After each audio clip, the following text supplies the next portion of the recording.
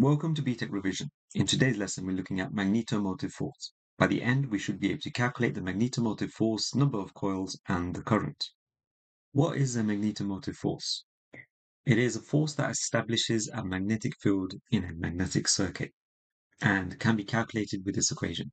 Magnetomotive force equals the number of turns times the current. And the short form is Fm equals Ni. The units are for amps.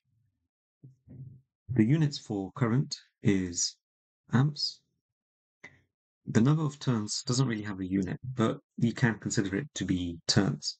For example, you could have one turn or 10 turns of a coil, and therefore the magnetomotive force is going to have a unit of ampere turns, or AT. The unit for current is amps, that's capital A, or amperes. And number of turns doesn't really have a unit, but we can consider it to be turns. For example, we could have one turn or 10 turns. Therefore, magnetomotive force is going to have a unit of ampere turns. So that's AT for short. Now, let's look at an example. A coil of now, let's look at an example. A coil with 200 turns carries a current of 2.5 amperes calculate the magnetomotive force in the coil. We can start by writing down our equation. Fm equals Ni. We know the number of coils is N, so it's 200, times the current of 2.5 amps. And that will give us a value of 500. And the unit is ampere turns. Now pause the video here and attempt this exam question. You can start by writing down our equation. Fm equals Ni.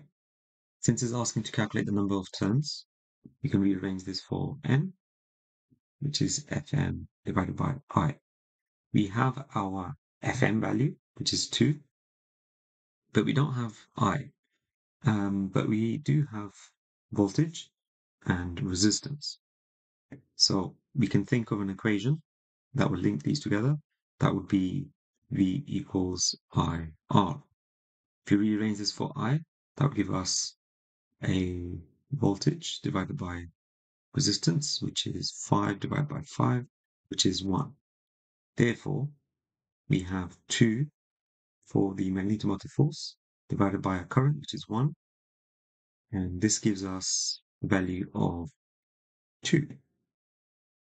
And that's the end of the lesson. If you'd like to boost your grades, visit us at btecrevision.com with lots more resources. See you next lesson.